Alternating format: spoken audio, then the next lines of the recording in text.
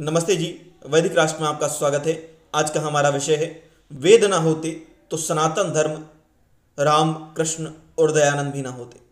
आज के इस लेख के लेखक हैं वैदिक विद्वान मनमोहन कुमार आर्य देहरादून से। इस तरह के अन्य वैदिक लेखों के लिए वैदिक राष्ट्र यूट्यूब चैनल को लाइक कीजिए, शेयर कीजिए, सब्सक्राइब कीजिए, बेल आइकॉन की घंटी को दबाना ना भूलें। धन्यवाद। आइए विषय की ओर चलते हैं।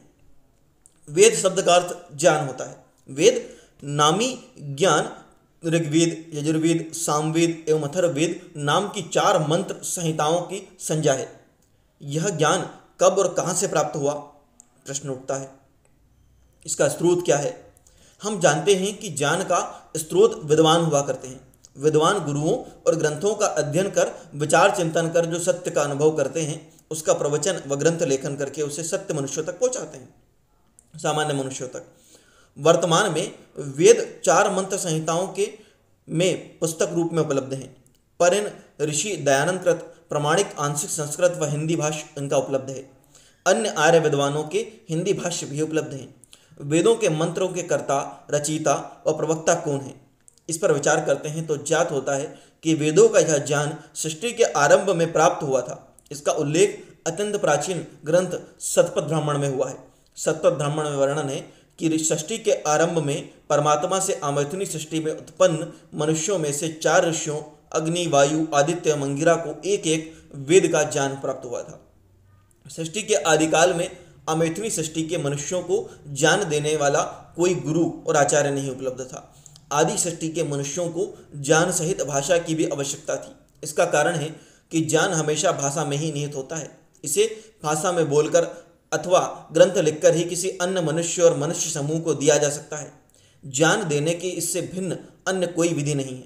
सृष्टि के आरंभ में न कोई आचार्य थे और न ही गुरु थे। परमात्मा ने जिन ऋषि कोटि के मनुष्यों को जन्म दिया था, उनको ज्ञान देने के लिए एक जानवान चेतन सर्वज्ञ, सर्वव्यापक, सर्वंतर्यामी तथा सर्वशक्तिमान सत्ता की आवश्यकता थी।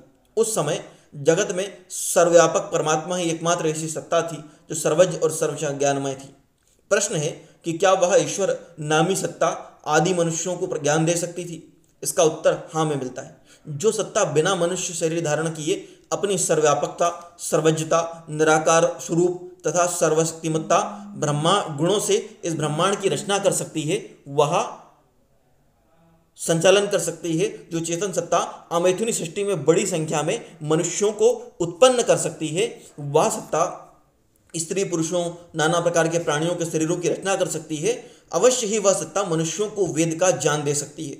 वह कैसे ज्ञान दे सकती है, यह भी प्रश्न उठता है। इसका तर्क और युक्ति युक्त वर्णन ऋषि दयानंद जी ने सन अठारह सौ पचहत्तर में लिखित अपने सुप्रसिद्ध ग्रंथ सत्यार्थ प्रकाश में किया है। उन्होंने कहा है कि परमात्मा ने आदि चार ऋषियों, अग्नि, वायु, आदित्य, अंगिरा को क्रमशः ऋग्वेद, यजुर्वेद, सामवेद एवं अथर्वेद का ज्ञान दिया था। यह ज्ञान सर्वव्यापक एवं सर्वंतर्यामी परमात्मा ने ऋषियों की आत्मा में उन्हें प्रेरणा करके स्थापित और प्रदान किया था। ईश्वर से वेद ज्ञान की प्रेरणा ग्रहण कर ऋषियों को वेद और उसके यथार्थ अर्थों सहित स्मरण कंठस्थ हो गए थे।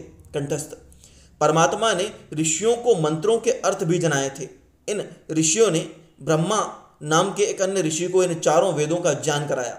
इसके बाद ब्रह्मा जी ने इन वेदों के ज्ञान देने प्रचार पाठन की परंपरा वहाँ से आरंभ हुई, प्रचलित हुई, जो महाभारत युद्ध के समय तक निर्बाध रूप से संचलित होती रही। इस परंपरा से ब्रह्मा से लेकर जेमिनी पर्यंत ऋषि, मुनि व मनुष्य वेदों का ज्ञान प्राप्त करते रहे, कराते रहे, अपने शिष्यों से आगे बढ़ाते रहे। जेमिनी मुनि पर आकर वेदाध्ययन की परंपरा में बाधाएँ उत्पन्न हो गई। जेमिनी ऋषि के बाद ऋषि परंपरा टूट गई, अर्थात इनके बाद ऋषि उत्पन्न नहीं हुए। इस कारण देश में अज्ञान के तमर उत्पन्न हो गया और देश अज्ञान के तमर में डूब गया। देश में अज्ञान के फैलने से सर्वत्र अंधविश्वास, कुरीतियाँ, समाज में अनेक प्रकार की विकृति उत्पन्न हो गई। सन अठारह में गुजरात के मोरवी राज्य में टंकारा नामक ग्राम में ऋषि दयानंद का जन्म हुआ। उन्होंने मथुरा में प्रज्ञाचक्षु स्वामी दंडी स्वामी विरजानंद सरस्वती से आर्ष व्याकरण, नृत्य सहित वेदांगों का अध्ययन किया, वेदाध्ययन की परंपरा को पुनर्जीवित किया। ऋषि दयानंद के अनेक शिष्यों ने वेदाध्ययन की परंपरा को गुरुकुलों के माध्यम से वेदांग का अध्ययन कराकर आगे बढ़ाया। वर्तमान में भी गुरुकुलों द्वारा वेदांगों के अध्ययन और वेदाध्ययन की परंपरा चल रही है। वेदों के आविर्भाव से संसार में मनुष्यों का धर्म का आविर्भाव हुआ। वेदों के आविर्भाव से संसार में धर्म का आविर्भाव हुआ। वेद ही सृष्टि के आरंभ में